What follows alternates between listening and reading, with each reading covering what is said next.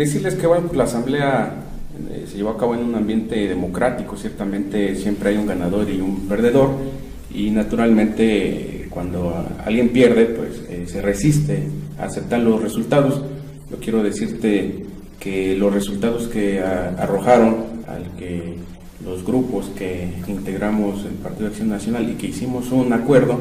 para ir eh, en conjunto, pues bueno, fue derivado de los acuerdos con responsabilidad y desde luego eh, tener absolutamente eh, toda la responsabilidad en las asambleas municipales que nos correspondían como grupos para que nuestros compañeros candidatos al Consejo Estatal pues pudieran lograr los resultados para que en la Asamblea Estatal tuviéramos eh, la mayor cantidad de propuestas y tuviéramos desde luego pues los resultados que se obtuvieron en el pasado. A ver, cuando hablas de grupos yo entiendo que,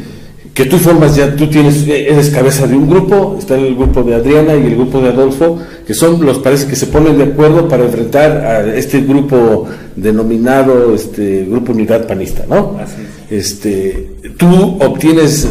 sacas una diferencia de, de 200 votos, eres el consejero que mayor votación obtuvo. Mi pregunta es, ¿hubo o no fraude como lo dicen los otros?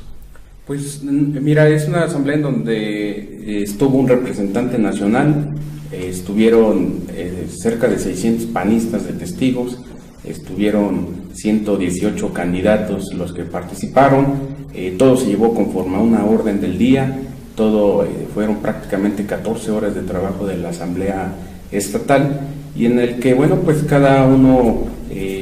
hizo su trabajo desde las delegaciones eh, municipales precisamente para convencer a los militantes de que votaran por 20 hombres, 20 mujeres. Nosotros llegamos a la Asamblea Estatal con prácticamente 450 delegados,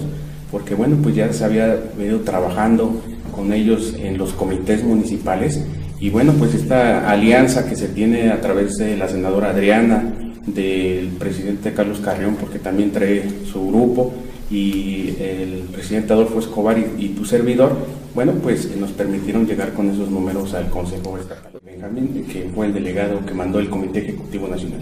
¿Por qué se dan estos resultados? Pues bueno, pues es evidente que el grupo de Unidad Panista pues apoyaron un proyecto político en la pasada elección eh, para la gobernatura,